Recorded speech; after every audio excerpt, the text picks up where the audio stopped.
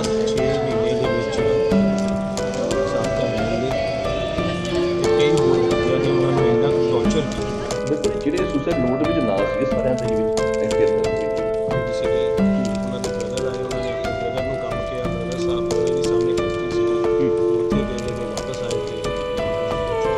ਹੋਈ ਹੈ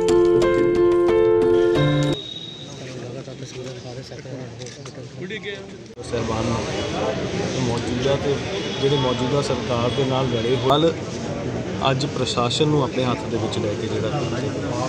ਅੱਜ ਬੜੀ ਨਮੋਸ਼ੀ ਨਾਲ ਮੈਨੂੰ ਕਹਿਣਾ ਪੈ ਰਿਹਾ ਕਿ ਇਹ ਜੋ ਹਾਲਾਤ ਉਹਨਾਂ ਨੇ ਬਣਾਤੇ ਹੈ ਕਿ ਸਾਡਾ ਇੱਕ ਬਹੁਤ ਹੋਣਹਾਰ ਵੀਰ ਜਿਹੜਾ ਅੱਜ ਉਹ ਕਤਲ ਹੋਇਆ। ਸਰ ਪਰਿਵਾਰਿਕ ਮੈਂਬਰਾਂ ਨੂੰ ਕਦੋਂ ਪਤਾ ਲੱਗਾ?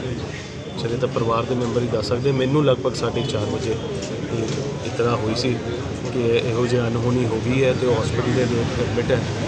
ਤੇ ਪੌਣੇ 5 ਵਜੇ ਮੈਂ ਇੱਥੇ ਪਹੁੰਚ ਗਿਆ ਤੇ ਅੱਧੇ ਘੰਟੇ ਦੇ ਵਿੱਚ ਫਿਰ ਇਹ ਅਨਹੋਣੀ ਖਬਰ ਸਾਰਿਆਂ ਨੂੰ ਪਤਾ ਲੱਗਾ ਪਤਾ ਪ੍ਰੇਮ ਸੀਗਾ ਸਾਰਾ ਗਾਇਬ ਹੈਗਾ? ਕੋਈ ਤੁਹਾਡੇ ਨਾਲ ਕੋਈ ਗੱਲ ਕੀਤੀ ਹੋਈ ਕਿ ਕਿਸ ਤਰੀਕੇ ਨਾਲ ਪਰੇਸ਼ਾਨ ਕੀਤਾ ਜਾ ਰਿਹਾ ਜਾਂ ਕੀ ਕੀਤਾ ਆਪਣੇ ਸਾਥ ਜਿਹੜਾ ਇਹਨਾਂ ਸਰ ਦਾ ਜਿੰਨਾ ਉਹਨਾਂ ਨੂੰ ਪਰੇਸ਼ਾਨ ਕੀਤਾ ਗਿਆ ਇਕੱਲੇ ਉਹਨਾਂ ਨੂੰ ਨਹੀਂ। ਹੋਰ ਵੀ ਜਿਹੜੇ ਕਾਉਂਸਲਰ ਸਾਹਿਬ ਹੈਗੇ ਆ ਬੜੀ ਲੰਬੀ ਫਰਿਸਤ ਹੈਗੀ ਹੈ ਬੜੇ ਲੰਬੇ ਲੋਕਾਂ ਨੇ ਉਹਨਾਂ ਨੂੰ ਕੀਤਾ ਪ੍ਰਸ਼ਾਸਨ ਦੇ ਵਿੱਚ ਵੀ ਲੋਕ ਹੈਗੇ ਆ ਜਿਨ੍ਹਾਂ ਨੇ ਉਹਨਾਂ ਨੂੰ ਬੁਲਾਇਆ ਫੇਸਬੁੱਕ ਸੋਸ਼ਲ ਮੀਡੀਆ ਦੇ ਉੱਤੇ।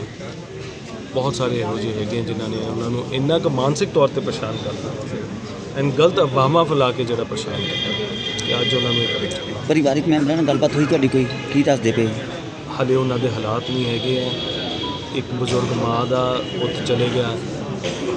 ਬੱਚੀਆਂ ਦੇ ਪਿਓ ਚਲੇ ਗਏ, ਬੇਟਾ ਉਹਦਾ ਪਿਓ ਚਲੇ ਗਿਆ, ਭਰਾਵਾਂ ਦਾ ਭਰਾ ਚਲੇ ਗਿਆ ਤੇ ਕਾਂਗਰਸ ਦਾ ਇੱਕ ਬਹੁਤ ਹੀ ਅਡੋਲ ਤੇ ਪਿਆਰਾ ਵਰਕਰ ਚਲੇ ਗਿਆ। ਪਰਿਵਾਰਿਕ ਮੈਂਬਰਾਂ ਦਾ ਇਹ ਕਹਿਣਾ ਕਿ ਮੈਂ ਇਹ ਕਹਿ ਕੇ ਕਿ ਮੈਂ ਕੁਝ ਸਮੇਂ ਲਈ ਫੈਕਟਰੀ ਜਾ ਰਿਹਾ।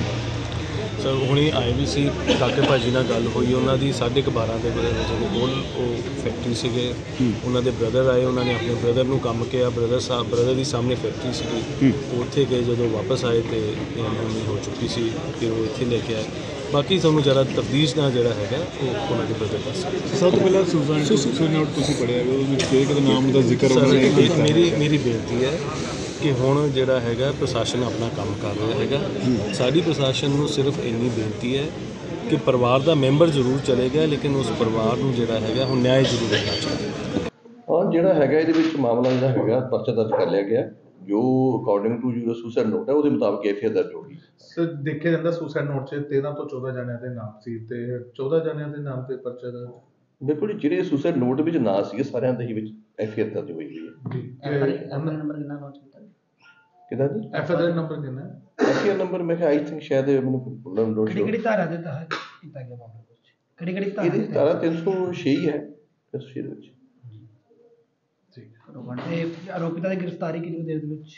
ਹਾਂ ਕੋਈ ਨਹੀਂ ਜੇ ਪਾਰਟ ਆਫ ਇਨਵੈਸਟੀਗੇਸ਼ਨ ਜਲਦੀ ਇਸ ਦਾ ਤੇ ਐਫਰਟਸ ਕਿਹੜਾ ਉਹ ਦ- ਅੰਤਿਮ ਸੰਸਕਾਰ ਹੈ ਹੁਣ ਉਹਨਾਂ ਦੇ ਘਰਦਿਆਂ ਨਾਲ ਤੁਹਾਡੀ ਕੋਈ ਗੱਲਬਾਤ ਹੋਈ ਹੈ ਇਸ ਬਾਰੇ? ਹਾਂ ਨਹੀਂ ਇਸ ਬਾਰੇ ਅਜੇ ਕੋਈ ਗੱਲ ਨਹੀਂ ਹੋਈ। ਲੇਕਿਨ ਉਹ ਸੰਸਕਾਰ ਵਗੈਰਾ ਪੋਸਟਮਾਰਟਮ ਹੋ ਰਿਹਾ।